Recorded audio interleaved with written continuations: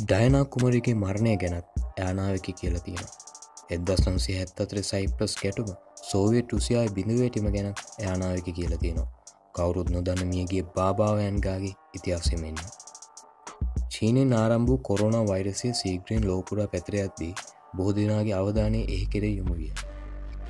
මුළු ආසියාවන් බියෙන් ඇතිගනිති ලෝකෙම අවධානය එක්තර අනාවැකි කාරිකගේ අනාවැකයක් කෙරේද යොමු විය.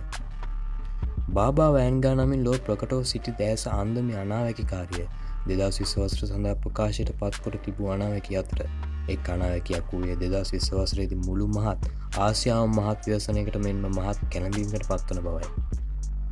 ආසිය විශාල විනාශයක් වන බවත් ජනතාව මහත් පීඩාවකට කරදරකට පත්වනු ඇති බවත් පවසා ඇති අය වැඩදුරට පවසා ඇත්තේ මේ තුළින් ජාන විඤ්ඥානන මහත් බල පැමක් ඇති කරන බවත්ය. ජනතාවගේ හොඳ සිය පවා අහිමීමට තරම් තත්ත්වය බරපතල වන බවත් ඇපකාශ කර තිබෙනවා. බාවෑන්ගම පවස ඇත්තේ මේ දිනලු පැතිරෙන වසංගත වෛරස් තත්වය ගැන බවට බොහෝ දෙනා මත පල කරයි. මෙ මාරන්තික වෛරසිට නිසිපති කර නොමැත්වීම හේතුවෙන් මේ වනටත් බොහෝ පිරිසක් මිය ගොසිනි. තවත් පිරිසක් අසාධ තත්වය පසු වෙති. මේ හේතුව නිසාම ජනතාව මේ පිළිබඳ දැඩි බීතයට පත්ව ඇත. ලෝපුරා වෙනසල්වන මුහුණු ආවරණ හිඟයක් එකවරම ඇතිවීම තුළින් ජනතාව පසුවන්නේ කෙතරම් බියෙන්දැයි අනුමාන කළ හැකිය. ජනතාවගේ සීහ පවක් කැළඹී යනු ඇති බවට බාබාවෑන්ගා පවසන්නේ මේ තත්ත්වය ගැන යුතුය. බාබාවෑන්ගාගේ අනුගාමිකයන් පවසන්නේගේ යානාවකි බොහෝවිට නිවැර දූ බවයි. එමානාවක සත්‍යවීම සම්භාවිතා සියට අසුපා පමණ බවද පැවසේ. බාබාවෑන්ග උපතරත් එදදා සමසේ කුළහ ජනවාර් තිස්සෙක් පෙනදාය. බාබායන නාමය ඇයට පට බැඳී ඇත්තේ පසු කාලෙකදී. ඒ මිත්තනී යන්නට සමාන අරුද්දෙන බව කියවේ.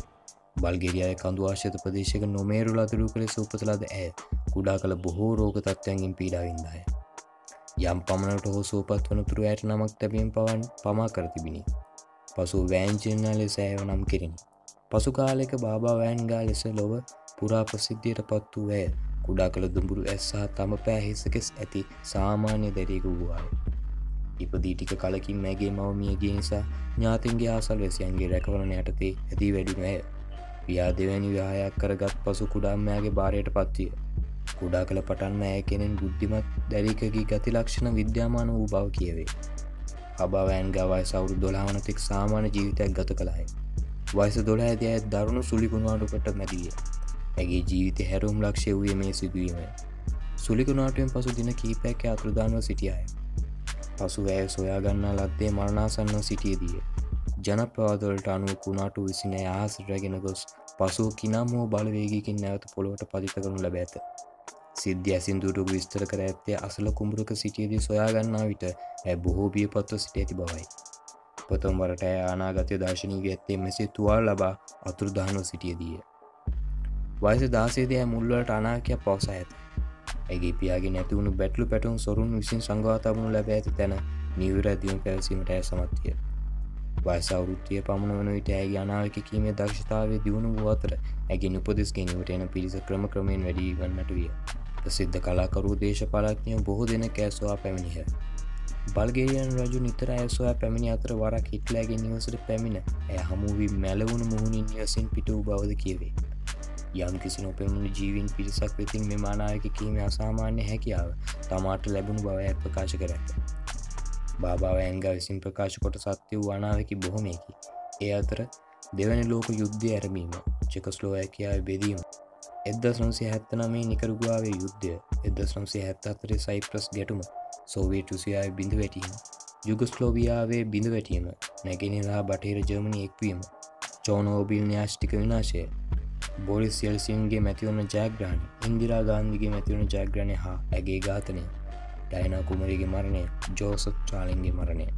යනාදීවේ වරක් එවක බල්ගේරයන් රජතුන්වැනි බොරිස් රජතුමා ඇය හමුවට පැමිණි අතර ඇය ඌට පවස ඇත්තේ නොදුරු දිනකති රජ මාලිගෙන් දුක්මුසු පුවතක් ඇසිවට ලැබෙන ඇති බවත් රතු පොඩි මාලිගේ ඔසවුන ඇති බවත්ය.